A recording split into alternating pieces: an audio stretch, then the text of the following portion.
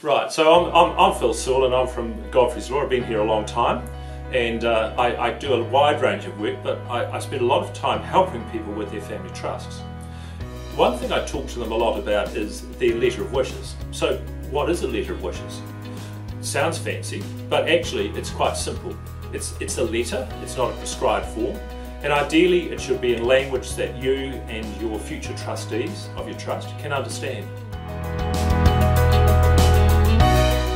While you're around and managing your trust, you've got a fairly tight control on what happens. You'll be a set law, you'll be a trustee, you make the decisions, you know what happens with the assets and the income.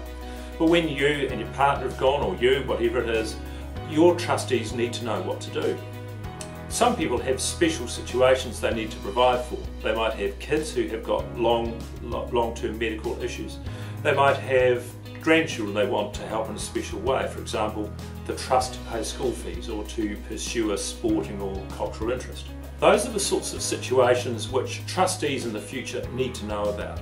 So that's a letter of wishes. After the trust deed and keeping minutes, it's the most important thing someone needs to do with their trust.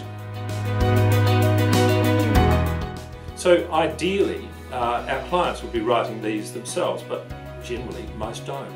And that's where we come in.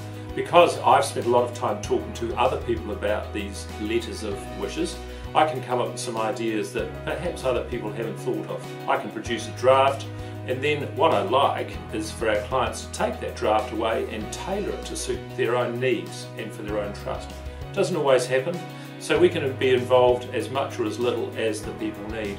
But one thing's for sure, with the modern New Zealand discretionary trust, in which there are no fixed entitlements, we need to make it very clear what your trustees do in the future.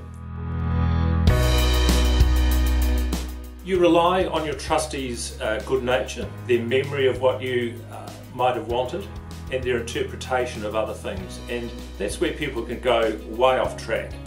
If you've got a trustee with strong views or perhaps some personal agenda that was hidden previously, the purpose of the trust might not be met. Trustees are not obliged to follow what's in the letter of wishes, it's, it's just for guidance, but if you choose your trustees carefully, they will, they will do what you want.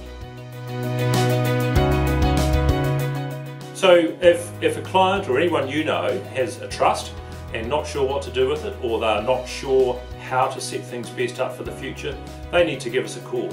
Uh, me or one of the team, we've got a, a skilled team at Godfrey's Law. We all do work with trusts a lot and we can help get them back on the right path.